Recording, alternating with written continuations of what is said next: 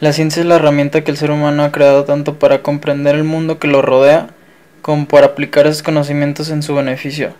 Los avances científicos nos permiten hallar soluciones a los nuevos desafíos económicos, sociales y medioambientales con los que construir un futuro sostenible.